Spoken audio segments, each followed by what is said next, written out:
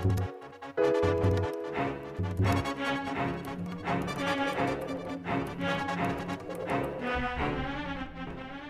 कौन हैं?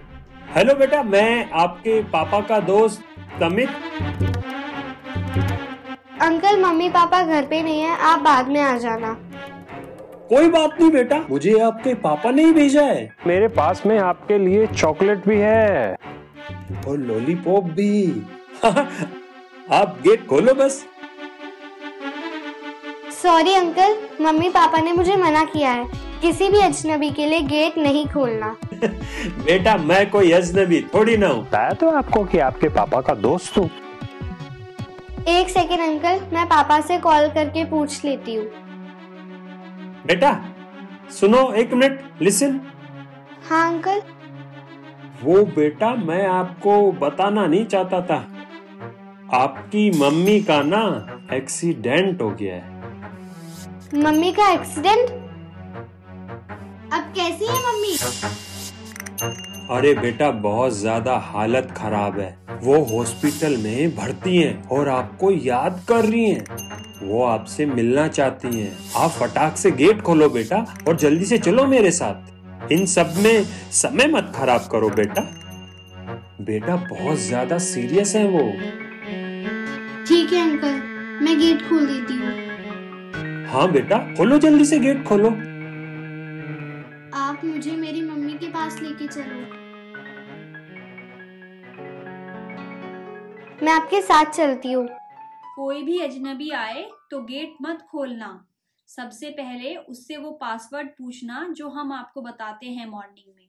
लेकिन जब तक वो सही पासवर्ड नहीं बताएँ तो तब तक गेट नहीं खोलना। Password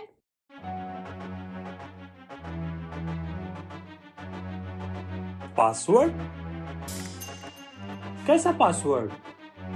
अगर पापा ने आपको भेजा है तो आपको पासवर्ड भी पता होगा ना? अंकल, पहले आप पासवर्ड बताओ, तभी मैं आपके साथ जाऊँगी। अरे नहीं हाँ अब मुझे याद है वो बताया था उन्होंने मुझे वो पासवर्ड क्या था? हाँ आई लव यू पापा। ये रॉन्ग पासवर्ड है। नहीं वो असल में दरअसल क्या हुआ ना बेटा वो जल्दी जल्दी में मैं भूल गया। एक मिनट रुको मैं बताता हूँ। हाँ उन्होंने मुझे बताया था आ, हाँ आई लव यू मामा ये रॉन्ग पासवर्ड है। हाँ नहीं वो four six three nine four ये भी रॉन्ग पासवर्ड है।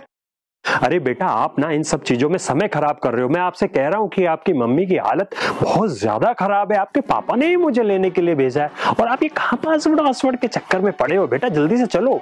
कि मम्मी आपको याद कर रही है। इसका मतलब आपको मम्मी पापा ने नहीं भेजा? अभी रुको मैं पुलिस अंकल को बुलाती हूँ फिर वो आपको पासवर्ड याद कराएँगे। पुलिस? अरे क्या हुआ अंकल? याद आया क्या? अरे अंकल पासवर्ड याद आया क्या? लगता है अंकल तो चले गए। चलो, कोई बात नहीं पासवर्ड याद करके आएँगे।